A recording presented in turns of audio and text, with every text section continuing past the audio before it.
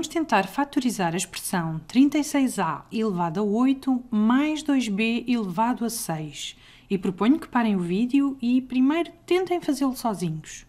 Então, vamos começar por ver se conseguimos reescrever esta expressão como uma diferença de quadrados recorrendo a números complexos. Primeiro, reparem que podemos escrever 36 como 6 ao quadrado e que a elevado a 8 é o mesmo que a elevado a 4 ao quadrado. Aliás, vamos já escrever isto como uma potência única. Vamos ter 6 vezes a elevado a 4 e tudo isto fica ao quadrado. Então, esta primeira parcela corresponde a isto que escrevemos aqui. A segunda parcela podemos escrevê-la como vamos ficar com mais e vamos reescrever isto como uma potência de expoente 2 vamos ficar com a raiz quadrada de 2 vezes b ao cubo. E tudo isto vai estar ao quadrado. E agora já temos a expressão escrita como uma soma de quadrados. Falta-nos conseguir transformá-la numa diferença de quadrados. Por isso, vamos aproveitar a expressão, mas vamos eliminar este mais.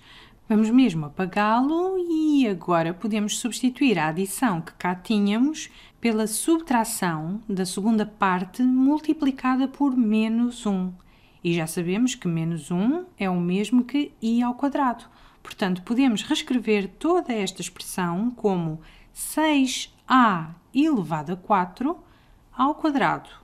E depois temos este menos aqui, que nos indica a subtração. Vamos ter menos e depois temos o menos 1, que é igual a i ao quadrado. E estando a multiplicar por outro quadrado, podemos juntar tudo numa só potência.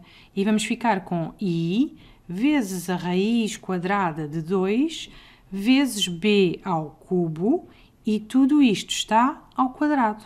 Não se esqueçam que introduzimos aqui o i, que ao quadrado é igual a este menos 1 que aqui temos.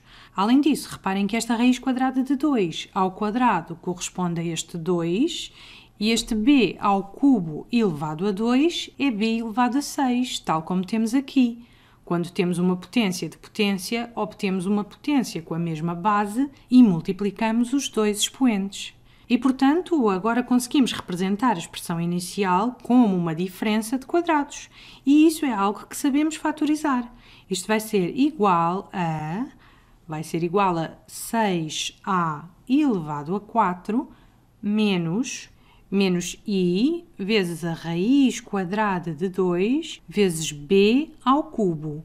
E esta diferença vai multiplicar, isto tudo vai multiplicar por 6a elevado a 4. 6a elevado a 4 mais, mais esta segunda parte, mais i vezes a raiz quadrada de 2 vezes b ao cubo.